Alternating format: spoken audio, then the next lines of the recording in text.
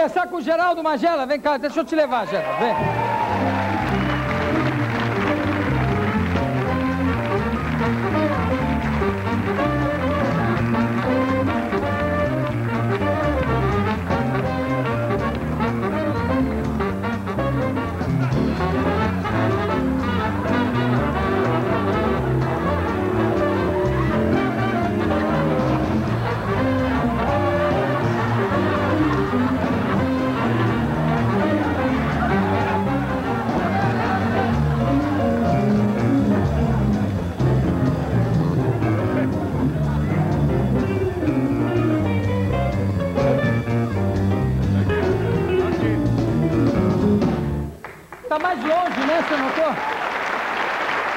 Gente,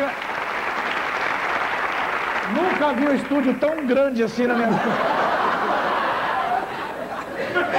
Você acha que ficou, ficou mais espaçoso aqui, Ficou né? amplo, maravilhoso. Agora, quant- quantas meninas bonitas. Ah, que coisa impressionante. Que plateia maravilhosa. Enche os meus, os meus olhos. Você tomou, chegou uma hora que ele falou assim, onde é que a gente tá indo? Porque Eu já não tô mais. Eu pensei que a gente ia pegar um táxi.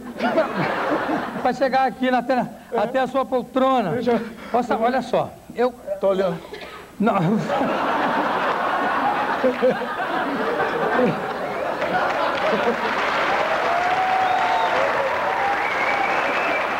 Aliás, ah, olha, eu não sei.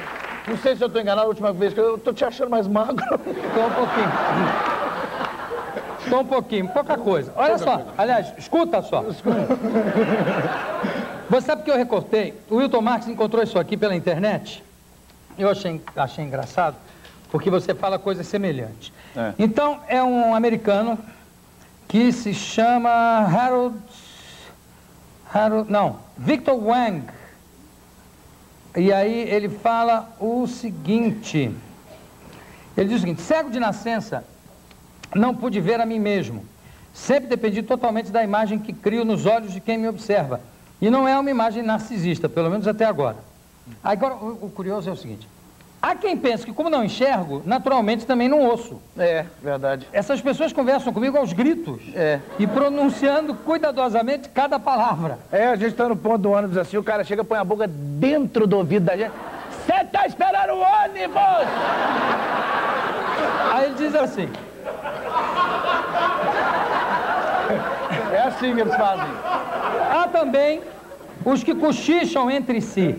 Presumem que se meus olhos não funcionam, minha audição também deve ser ruim.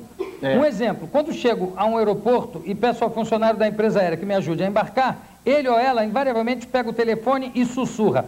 Oi, Jane, temos um 76 aqui. Nunca usam o termo cego. Das duas, uma, ou eles temem que ao simples som dessa palavra o aeroviário sofra um fulminante descolamento de retina, ou relutam em me revelar que eu tenho um problema de visão, uma vez que eu ainda posso não ter percebido que sou cego. É verdade, é isso mesmo. Acontece isso também de falar baixinho. Mas, não, e às vezes chega um casal do meu lado, me trata como se eu fosse um poste, né? Não é que mijam na gente, em mim não. É porque o casal tá do meu lado, a namorada tá assim. Ó, ele é cego. Como se eu fosse assim, o ET de Varginha. Ó, ele é cego. Aí o cara, é, e ele anda sozinho pra todo lado, né? Você sabe o que é que eu funciono sem fio? Aí tem aqui o seguinte, há ainda os que sabem que eu ouço perfeitamente, mas acham que eu não consigo falar. Quando eu saio com a minha mulher para jantar, ouço com frequência o garçom perguntar para ela se ele quer beber alguma coisa. É verdade. Aí eu respondo, claro que eu quero. Um dos exemplos mais ilustrativos desse tipo de situação aconteceu na Inglaterra. Eu havia tirado um ano de licença e estava fazendo um curso de especialização em Oxford. Certo dia caí doente, precisei ser hospitalizado. Logo que eu cheguei, fui levado de cadeira de rodas para a sala de raio-x. Na entrada da sala, meio que tomando conta, ficava sentada uma senhora. Concluí que fosse de meia idade pelo som da voz. E ela perguntou ao enfermeiro que estava comigo: qual é o nome dele? E, e, eh, perguntou ao enfermeiro. O enfermeiro repetiu para mim: como é o seu nome? E eu respondi: Harold Krantz. Tá traduzindo, né? Harold Krantz. É. Na mesma língua. Qual é a data do nascimento dele? Qual é a sua data de nascimento? Exatamente. 5 de novembro. E vai por aí afora. Aí chega assim e fala assim, ó, ele aqui é o ceguinho da escolinha do barulho, né? É. Ele é engraçado, né? É, e eu tô lá do lado, escutando tudo. Você... É assim, não, às vezes são coisas maravilhosas. Por isso que eu juntei tudo e fiz o show Ceguinho e a Mãe, contando essas proezas que acontecem no dia a dia de um cego. Ceguinho é a mãe. É a mãe. Vem cá, você, qual é o melhor momento do seu show, desse show novo? Bom, tem é, a filosofia, aliás, é o momento pulminante do espetáculo, hum. que é a filosofia do pum. Hum. É porque o pum é uma coisa interessante, né? Que todo mundo solta e nega que soltou. Ninguém assume a paternidade da criança. Né? Hum. Eu falo que o pum é uma coisa natural. Se bem que tem uns aí que são sobrenaturais, né? Quem soltou parece que já morreu há mais de 10 anos. Então, eu dou alguns exemplos, né? Por exemplo, você pode conhecer a personalidade da pessoa pelo pum que ela solta. Por exemplo, tem o descarado. Aquele que solta o pum e põe a culpa nos outros. Você, né, Bira? Que que é isso, meu amigo? Não, e o cara é tão cara de pau, mas tão cara de pau, que às vezes estão vocês dois sozinhos na sala. Você tem a certeza absoluta que foi ele que soltou. Mas ele nega com tanta convicção que você fica assim meio em dúvida. Ué, será que foi eu? Será que eu tô com o pum solto, gente? ô, ô, ô, Geraldo, você teve na Copa ah, tive. Em 98, eu fui olheiro da seleção brasileira. Por isso que deu no que deu, na é verdade.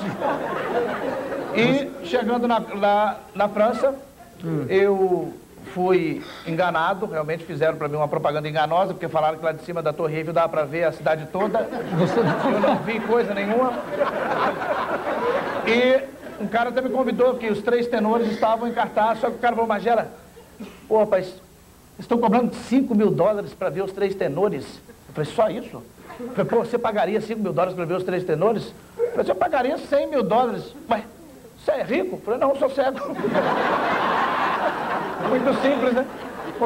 E você encontrou com o Maguila no aeroporto? Ah, Como é esse encontro com o Maguila? Não, o Maguila é o seguinte, eu fui no programa do Faustão e no aeroporto eu encontrei, encontrei com ele.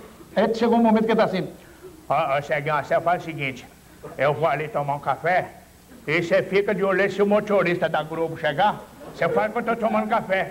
Ô Maguila, como é que eu vou saber que o cara é motorista da Globo? Pelo crachá, uai. Mas, e dentro do avião ele me convidou para ir no...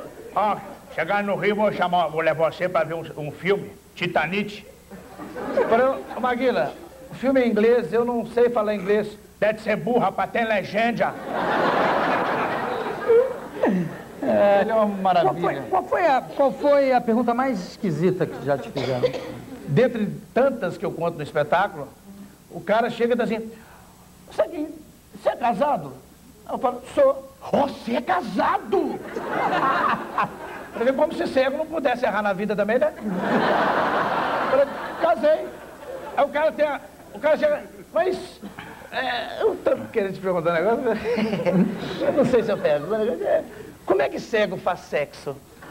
Eu falei, meu Deus do céu, como é que cego faz sexo? Será que ele tá achando que é pendurado no lustre de cabeça para baixo? Então, todo dia tem uma pergunta dessa, uma pergunta assim estranha. Uma pergunta esquisita. É. E como é a história da morena que você conheceu numa festa? Ah, aliás, cadê a água? Minha tá boca aqui. tá sequinha, cadê? Tá, tá, tá bom? Do meu lado eu não vi, peraí. Se for... Se fosse uma cobra... Se fosse uma cobra, te mordi. Mas... Então é o seguinte, ó. Eu fui num pagode e eu conheci nesse pagode uma morena maravilhosa, né? Eu sei por causa da temperatura, né?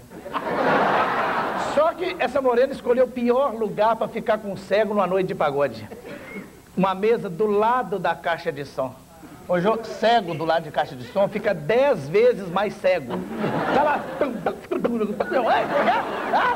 Eu fico mais perdido que eu mesmo em tiroteio, né? Aí, tava tudo bem, beijinho pra cá, beijinho pra lá, mas não tinha, eu tava gastando minha grana toda, não tinha rendido o suficiente ainda, né? Aí eu pensei, bom, vou chamar ela para um restaurante, uma boate, depois... Ah. Mas eu senti que eu tinha que ser cauteloso para não espantar o gado, né? Foi o que eu fiz. Cheguei perto dela, assim, olhei bem dentro dos olhos dela. Falei, querida, esse seu olhar me atrai, esse seu sorriso me enlouquece, a cor de sua pele. A gente tá numa boa, mas a gente podia ir para um lugar mais aconchegante. O que, que você acha? Aí ela falou, me leva para um motel. Eu falei, nossa, que mulher difícil. Devido a essa dificuldade tamanha, eu caprichei, né? Fomos assim no motel cinco estrelas, né? Nesse que tem piscina, sauna, banheira de hidromassagem, borracharia, rodoviária. Chegando no motel, eu pensei engraçado. Cego tinha que ter pelo menos 40% de desconto em motel, né? O que, que eu vou precisar de espelho no teto, televisão? né? Aí, pensei, bom, depois eu olho isso. Aí chega... chegamos na suíte, chegamos na suíte, eu pedi para ela apagar as luzes para não ficar muito constrangido no quarto. E começamos a brincar, né? Você não pode levar a mulher para um motel e ir direto aos finalmente. Você tem que fazer que nem motorista de táxi, dar uma volta. Foi o que eu fiz. Comecei a brincar, né? Falei assim, ah, que bonitinho, isso aqui eu tenho, ela também tem. Ó, oh, isso aqui eu tenho, você também tem. Isso aqui eu tenho, você também tem. Isso aqui você também tem, dá dois do meu?